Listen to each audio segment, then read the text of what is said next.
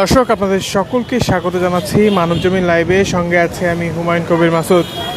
এই মুহূর্তে উপস্থিত আছি শ্রম আদালত, যেটি শহীদ সৈয়দ নজরুল ইসলাম সরণিতে রয়েছে, পুরানা পল্টনে যে সরকারি সেখানে সেটিকে, সেখানে যে শ্রম আদালত রয়েছে, সেখানে শান্তিতে নোবেল বিজয়ী অর্থনীতিবিদ ডক্টর মোহাম্মদ ইউনুসের বিরুদ্ধে কলকারখানা ও প্রতিষ্ঠান অধিদপ্তরে দায়ের করা মামলার আজ রায় ঘোষণা করবে আদালত। এটিকে ঘিরে আইন শৃঙ্খলা রক্ষাকারী বাহিনীদের যে কড়া নিরাপত্তা ব্যবস্থা, সেটি আমরা লক্ষ্য করতে পারছি এবং যেই চিত্রটি আমরা দেখছি যে আজকে দুপুর দুইটায় শ্রম আদালতের বিচারক রায় ঘোষণা করবেন। গত চব্বিশ ডিসেম্বর ঢাকার শ্রম আদালতের বিচারক বেগম শেখ মেরিনা সুলতানের আদালত রায়ের এদিন ধার্য করে।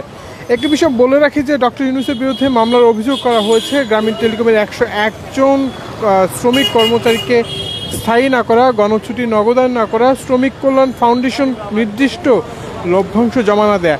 আইনে কারাদণ্ড দিলে ডক্টর ইনুসকে সর্বোচ্চ ছয় মাসে কারাদণ্ড এবং পঁচিশ হাজার টাকা জরিমানা করতে পারবেন। এছাড়াও যে বিষয়টা আমরা গত কয়েকদিন আগে লক্ষ্য করেছি যে তিনি সর্বশেষ যেদিন এসেছিলেন সেদিন রাত প্রায় সাড়ে আটটা পর্যন্ত কোর্ট চলে এবং সেখানে আজকের দিনটি ধার্য করা হয়। যেই দিনে আজকে রায়টি ঘোষণা করা হবে এবং সেই রায়ের জন্য যে আদালত প্রাঙ্গনের কঠোর বা শক্ত নিরাপত্তা ব্যবস্থা, সেটি আমরা লক্ষ্য করতে পারছি। আইন শৃঙ্খলা রক্ষাকারী বাহিনীদের ব্যাপক একটু উপস্থিতি আমরা এখানে লক্ষ্য করছি। তাছাড়া গণমাধ্যম কর্মীদের যে উপস্থিতি, সেটি আমরা এখানে লক্ষ্য করতে পারছি। আমরা ডক্টর নিউজের সর্বোচ্চ সাজা ও জরিমানা দাবি করছেন, করেছেন বাদীপক্ষের আইনজীবী সৈয়দ হায়দার আলী। তিনি যে বিষয়টি জানিয়েছেন যে শ্রম আদালতে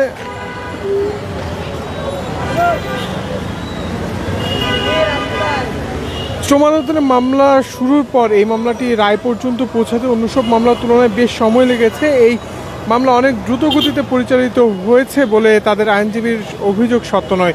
তবে ডক্টর ইউনুসের আইনজীবী ব্যারিস্টার আবদুল্লাহ মামুন যে বিষয়টি জানিয়েছেন যে মামলাটি বোয়িং বিমানের চাইতেও দ্রুত গতিতে পরিচালিত হচ্ছে।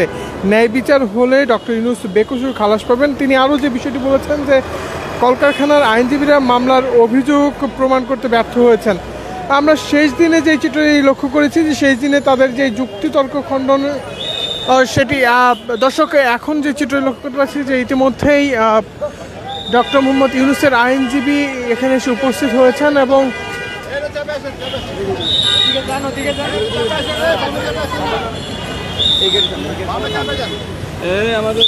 ইতিমধ্যে এখানে ডক্টর মোহাম্মদ ইউনুসের আইনজীবী এবং ডক্টর মোহাম্মদ ইউনুস তারা এসে উপস্থিত হয়েছেন এবং তারা অল্প কিছুক্ষণ সময়ের মধ্যেই যে আদালত রয়েছে সেখানে তারা যাবেন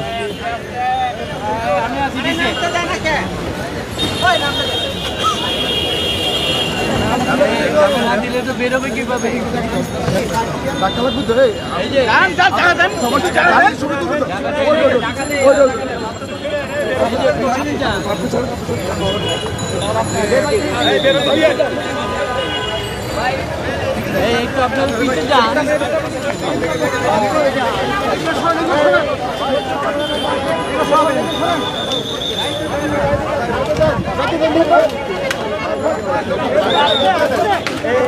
भाई भाई भाई भाई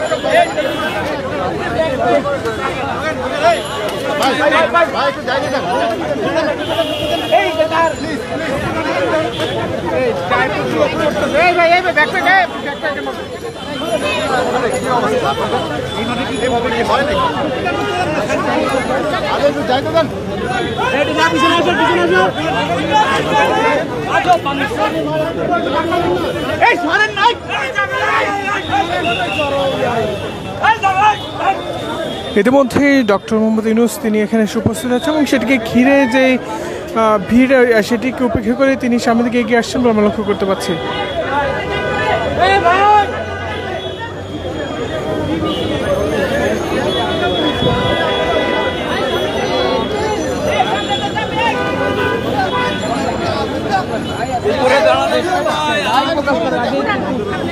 দেখতে পাচ্ছেন গণমাধ্যমের কর্মীরা পাশাপাশি সাধারণ মানুষ এবং আইন শৃঙ্খলা রক্ষাকারী বাহিনী সেটাই।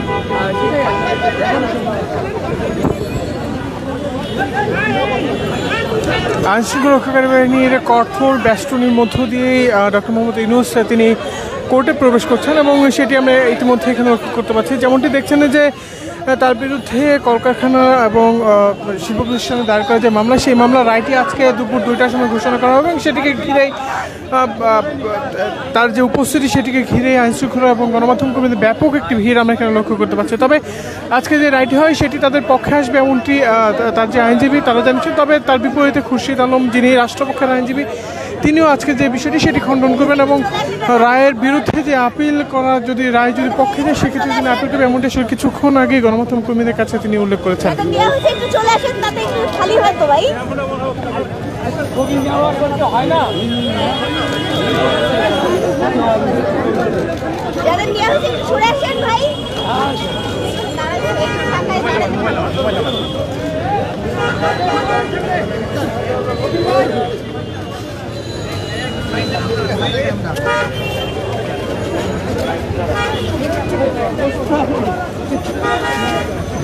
সরি ভাই ভাই ভাই ভাই ভাই এই কি অবস্থা রে ভাই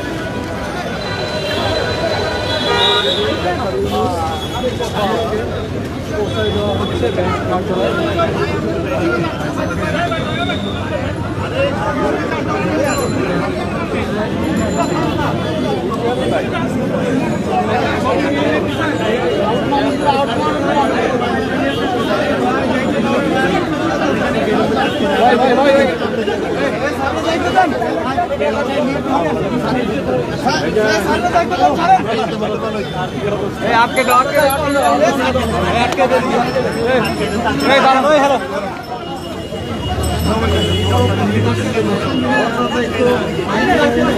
মাইক্রোফোন বন্ধ হয়ে গেছে সাউন্ড নেই এমনিতে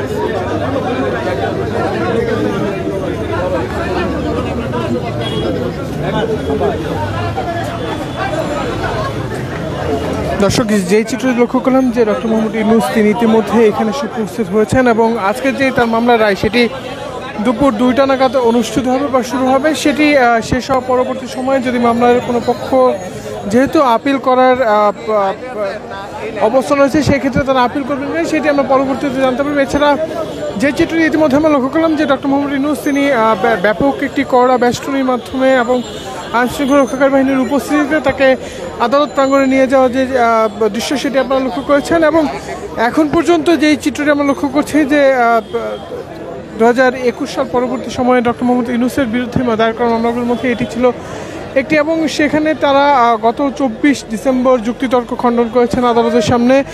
এর পরবর্তী সময়ে আজকে তিনি আবার রায় শোনার জন্য আদালত প্রাঙ্গণে এসে উপস্থিত দর্শক, এই ছিল মূলত আদালত প্রাঙ্গণ থেকে আজকের সর্বশেষ পরিস্থিতি। এছাড়া দেশের যে কোনো ধরনের রাজনীতি, বিনোদন এবং খেলাধুলার সংবাদ পেতে মানব জীবনের সঙ্গেই থাকবেন। ধন্যবাদ সকলকে।